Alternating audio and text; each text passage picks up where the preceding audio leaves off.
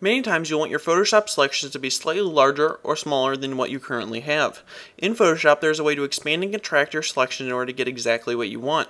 So to get started we're going to make a simple selection by taking our magic wand tool with a tolerance of 16, clicking in the background, then going up to select, inverse, and now we have simply the soccer ball and hand selected.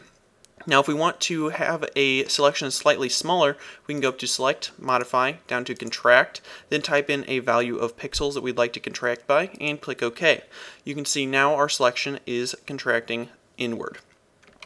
Now if we go up to select, modify, and then expand, we can do the exact opposite by getting a larger selection around our outline. Now there is one more option if you go up to select, modify, down to feather. You can feather your radius, so if you actually were to cut this out, you would have a feathered edge. So this tip has a variety of ways that it can be used, so knowing how to do it will definitely help you out in the long run. This has been a 60 second tutorial by River City Graphix. Be sure to subscribe, rate, and comment for more.